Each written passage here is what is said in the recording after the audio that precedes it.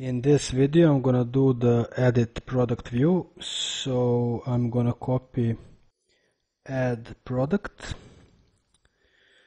and change it to say edit product like so. And now in here this is gonna say edit product and is gonna this A is gonna link to admin slash products back to the products that's fine. Form is type multipart form data that's good. And it's gonna link to edit product slash ID let me just see how I'm passing that ID well I'm not passing it at all. So let's say down here id is gonna be equal to p underscore id so in here I'm gonna have the title that's fine which is printing the title here and description that's good too category is good as well but I need to check now which option is or should be actually pre-selected. So inside of this option value, which should have this cat slug value, that's fine, but I want to check if this cat slug is equal to category and if it is, I want it to be selected. So I'm gonna bring this down and I'm gonna say here if so if cat slug is equal to category and I'm passing that category here as the slug basically. So if there's a match for that in that case I want here to have selected equals selected like so so let's see. That looks good. Next is this price, so that's fine as it is. Let me just see, actually here I could format it better.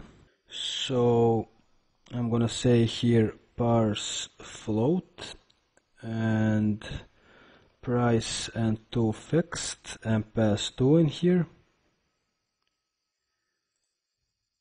So the price is fine and the image now so this one here is gonna say upload image and above this div I'm gonna have a div that's displaying the current image. So this one is gonna have a name of image that's fine and ID of img that's fine as well.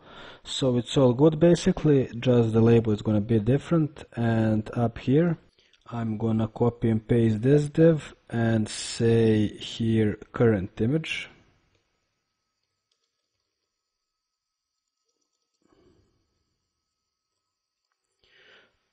and here I'm gonna have a p. And I'm gonna say if actually like so. So if image is equal to an empty string in that case I'm gonna have that no image show up. So source is gonna be slash images slash no image dot png and I'm also gonna give it the ID of no image so it's styled. And copy this closing brace because this one is gonna be an else. So else and copy this paste it here. It's also gonna have the same ID but the image is gonna come from product underscore images slash and I need to this uh, get the image name here. So image. And the ID actually. So product images ID the folder. So this is the name of the folder and the image. So that should work. And I'm uploading the image here. So that's fine as well. And before this button I want to have the name of the image in a hidden input so I'm gonna say here image actually input hidden like so and name is gonna be p image and the value is gonna be image. So the name of the image.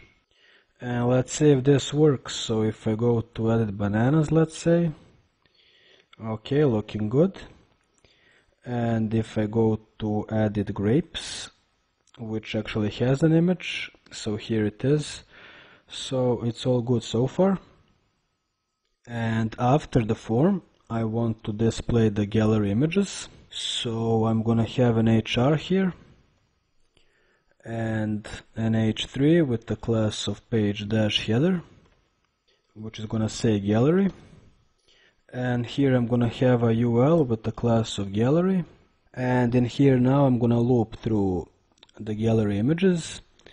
So I'm gonna have that and this is gonna say gallery images. And this is gonna say image. Just indent this a bit. So for each image I'm gonna have a li and the side of that li I'm gonna have the image. So this is gonna be let me actually copy the source from here. That is here.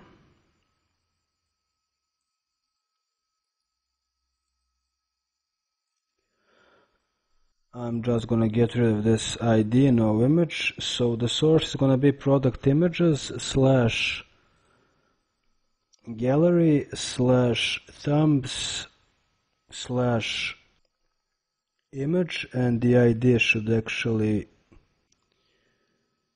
be here. So like so let me just get rid of this ID here. Okay that looks good.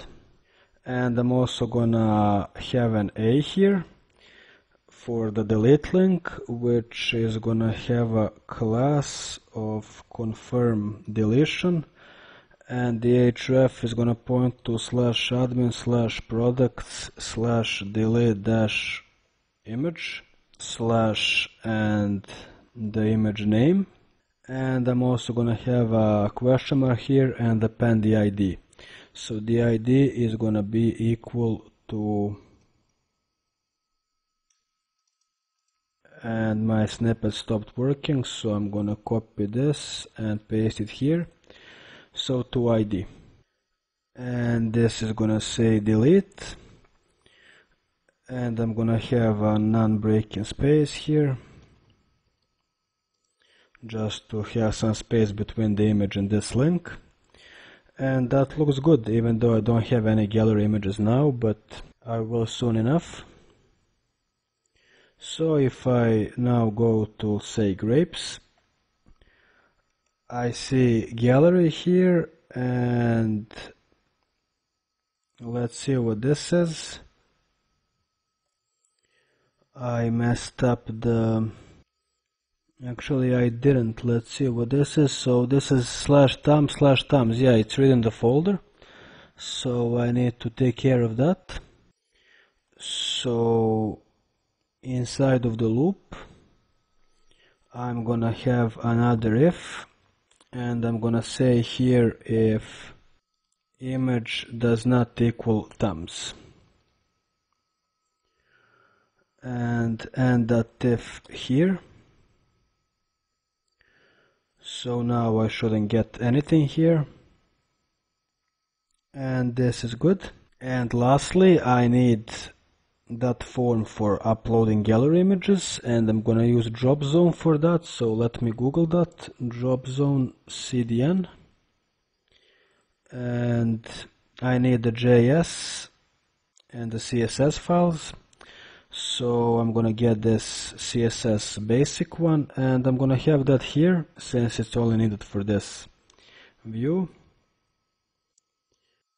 so does the href and this one as well dropzone.css so let me just copy this and this is gonna be dropzone.css and dropzone.js as well. So this is gonna be a script with that source. And this looks good I think that's all I need and I'm gonna have a comment here and say preview image and another comment here and say drop zone for the drop zone code. And I'm gonna have that drop zone form here. So I'm gonna have a couple of BRs just to have some space and I'm gonna have another form here with action slash admin slash products slash product gallery. So this is a route I need to create.